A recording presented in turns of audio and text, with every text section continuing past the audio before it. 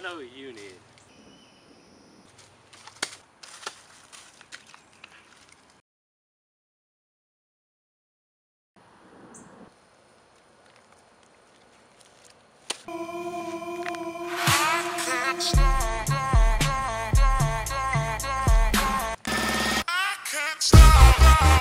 This is something like the Holocaust. Millions of